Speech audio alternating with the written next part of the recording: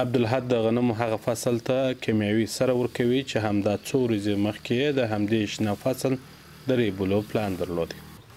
خو وروستیو ورښتونو حاصلاتو ته د رسېدو لپاره د دې کروندګر هیلې زیاتې کړې او د ریبلو پر ځای یې د روزلو لپاره موټي راونغښتلې.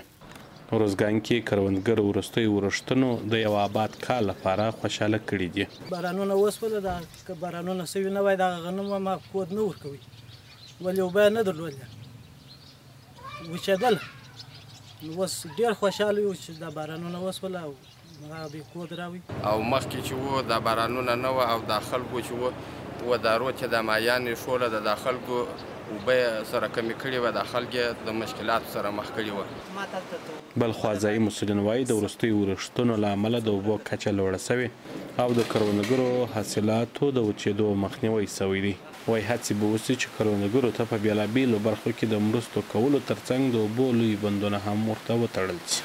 اوس یو سل او اووه څلوېښت ملي باران شوی دی، نو د درو سوو پورې چې وشي نو بره کال ادا کړي.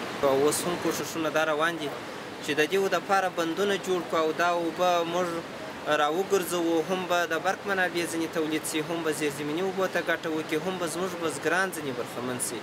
نو موږ پر دې باندې هڅې شروع کړې دي د خیره. روزګان چې یو کرنیز ولایت دی او تر نوي سلنه ډېر اوسېدونکي په کرکیله بوخت دي، دغه ډول ورښتونه کولای شي چې د دې خلکو اقتصاد ښه او سترخانونه یې د ډوډۍ ډک کړي. اجمل وصال، د افغانستان ملي راډیو ټلویزیون، روزګان.